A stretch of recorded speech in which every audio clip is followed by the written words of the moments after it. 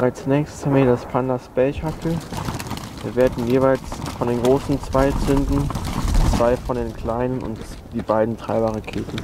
Aus dem Panda Space Shuttle die Treiberraketen einmal Green Star und Red Star. Dann die mittleren Raketen, die namenlos sind.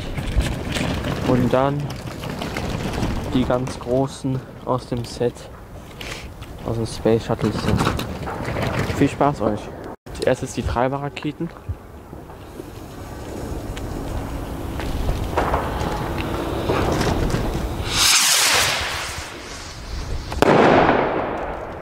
Schönes Grün.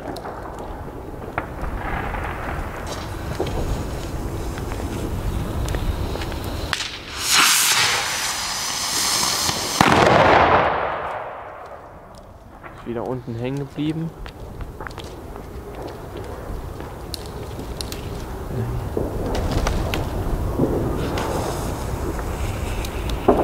Die mittleren Kugelkopfraketen.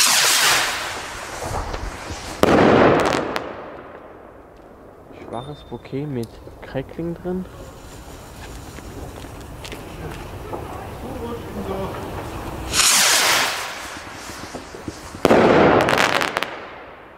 Rotes Bouquet mit Crackling.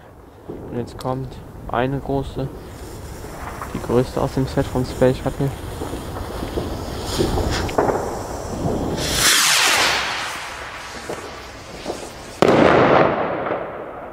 Leider etwas unscharf, aber schöner Brokateffekt.